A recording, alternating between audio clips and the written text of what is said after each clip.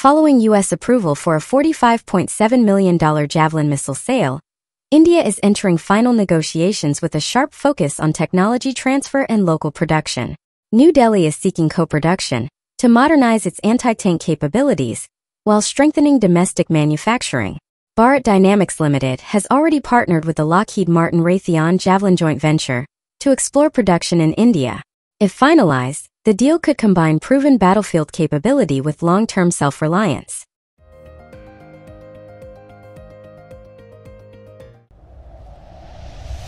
India is set to transform Delhi into a heavily protected fortress under the proposed Capital Dome air defense system, integrating indigenous DRDO platforms like QRSAM and VLSR-SAM. The shield will counter missiles, aircraft, and drones with rapid 360-degree coverage. Directed energy weapons will neutralize low-cost hostile drones with minimal collateral damage. Network sensors and command systems will ensure seamless threat tracking, marking a major leap in India's future-ready, self-reliant air defense posture.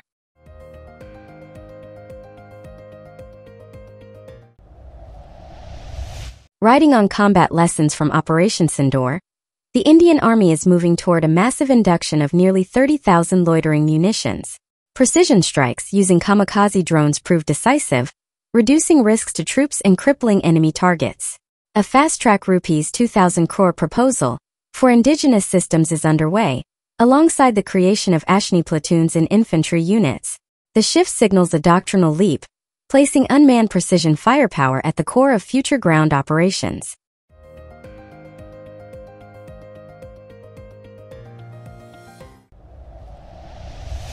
Building on proven drone deliveries, the Indian Army is moving to create a dedicated cargo drone fleet to supply troops in remote and high-altitude areas.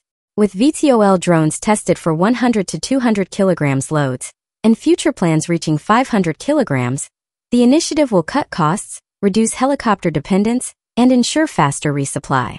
Autonomous operations will boost morale, improve readiness, and keep frontline units supplied even in the harshest terrains.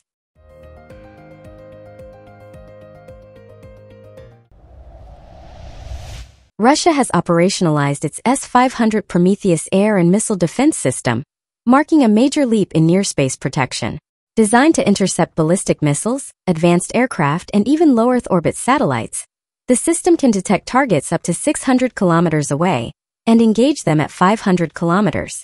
India has expressed strong interest and held talks with Moscow, though export approval remains undecided amid Russia's own strategic defense requirements.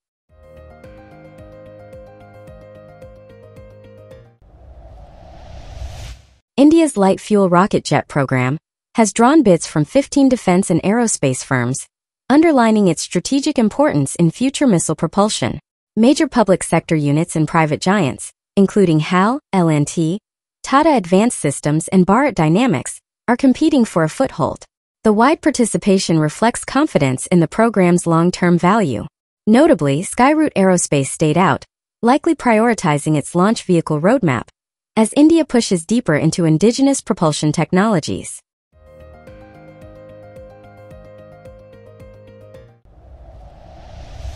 China has reportedly begun constructing its first nuclear-powered aircraft carrier, likely the Type 004, signaling a major leap in naval power projection. Displacing nearly 100,000 tons and powered by twin reactors, the carrier would rival U.S. supercarriers in endurance and combat tempo. The move sharpens strategic debate in India, where planners must weigh investing in larger carriers or expanding nuclear attack submarines to counter China's growing naval footprint across the Indo-Pacific.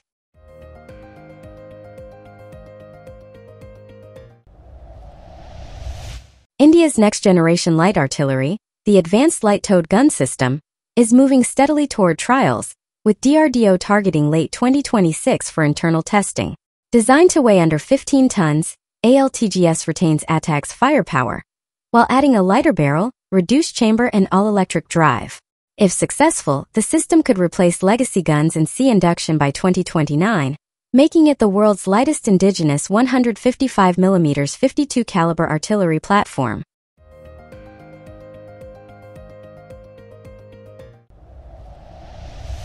France is closely evaluating India's indigenous Pinaka rocket system, as DRDO advances the long-range precision-guided Pinaka Mk3. With ranges nearing 120 to 130 kilometers, the system addresses French army gaps left by aging rocket artillery. Combat proven, cost-effective and capable of rapid, accurate salvos, Pinaka has drawn sustained attention from French officials. As trials progress, the Mk3 strengthens India's artillery depth, while boosting export prospects and Indo-French defense cooperation.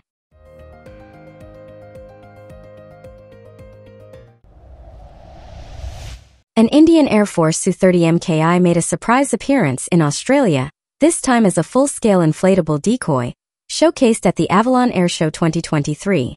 Presented by Spearpoint Solutions and built by Inflatech of the Czech Republic, the replica accurately mimics the jet's radar, heat, and visual signatures.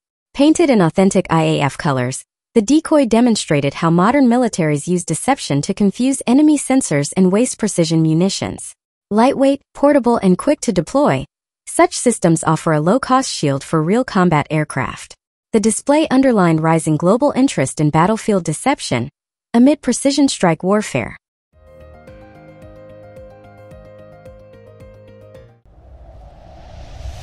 India's fifth-generation AMCA fighter is set to redefine aircraft maintenance through AI-driven, software-defined architecture. Designed for a 75% availability rate, the jet will use predictive diagnostics to detect faults before flights, cutting downtime and boosting readiness. Real-time health monitoring, digital twin simulations, and AI-assisted maintenance planning will streamline repairs and reduce costs. Advanced training using augmented reality will further empower ground crews. Addressing chronic availability issues in legacy fleets, AMCA's digital sustainment model promises longer service life, higher safety, and greater combat readiness, positioning the aircraft as a true force multiplier for the Indian Air Force.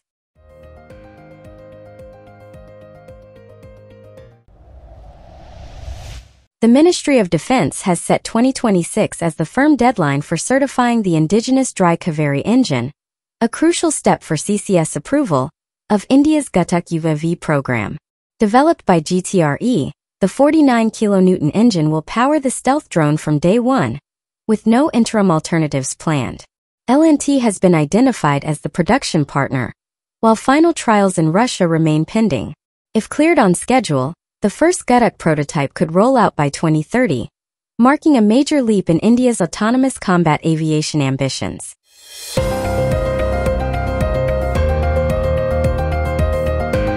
That's all for now. Hope you liked this video. Please like, share, and subscribe for daily news updates. Thanks for watching.